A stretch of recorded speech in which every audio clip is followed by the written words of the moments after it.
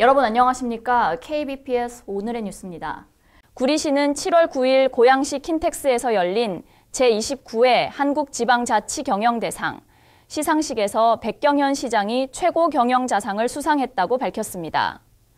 이 상은 매년 행정서비스 혁신과 지역 발전에 탁월한 성과를 창출한 지방자치단체와 기관장을 선정해 시상하는 것으로 최고의 권위와 전통을 자랑합니다. 이번 심사는 3단계로 진행됐습니다. 1차 공적 서류 평가, 2차 전문심사위원회 인터뷰 평가, 3차 시민 만족도 조사를 통해 이루어졌습니다. 백 시장은 행정혁신, 산업경제, 교육과 문화예술, 인재 육성, 복지, 환경안전 등 여러 분야에서 높은 점수를 받았습니다.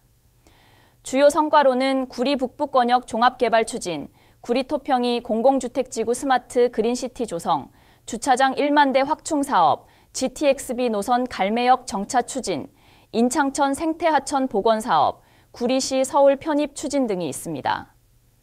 백경현 시장은 시민 중심 소통과 공감하는 행정 추진의 노력이 이뤄낸 성과라며 앞으로도 시민분들께 약속드렸던 새로운 변화와 성장을 통해 시의 도약을 이루어낼 것이라고 소감을 밝혔습니다.